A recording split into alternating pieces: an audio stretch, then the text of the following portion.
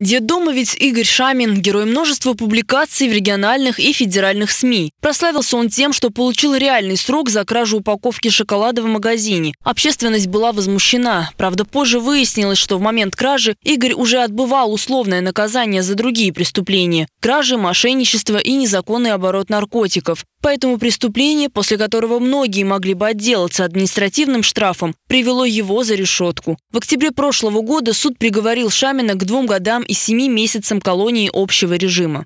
Сидел, подумал о многом. То есть не вот там, а за что мне это дано все. Нет, а мысли совсем другие начали появляться. И там я понял, вот буквально под седьмой, восьмой месяц, то, что именно, ну, серьезно, я повзрослел. Ну, повзрослел в первую очередь в голове.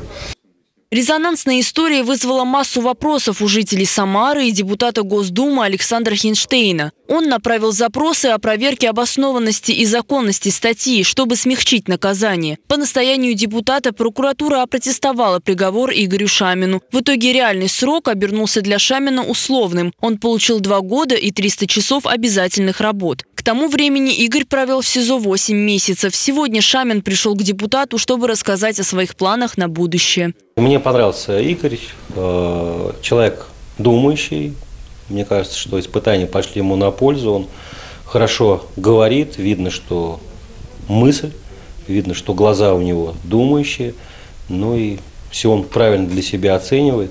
Я очень надеюсь на то, что этот печальный опыт для него станет наукой, уроком на всю жизнь. Игорь уже отучился на пекаре, теперь осваивает профессию монтажника. После окончания колледжа планирует поступить на юридический факультет. Говорит, увидел работу адвоката в действии и теперь тоже хочет помогать тем, кто сошел с правильного пути. Пока он живет в общежитии, но совсем скоро получит собственное жилье. Уверен, с криминальным прошлым покончено. Я ушел от старой компании, там ну, ни с кем не общаюсь, там, не дружу, не переписываюсь, вообще не поддерживаю отношения. Это, это очень, на самом деле, помогло мне, потому что я раньше был ведомый человек такой, вот, э, легкодоступный, ну, в плане общения. А сейчас нет, я больше людей видеть насквозь стал и понял, что для меня лучше, а что нет.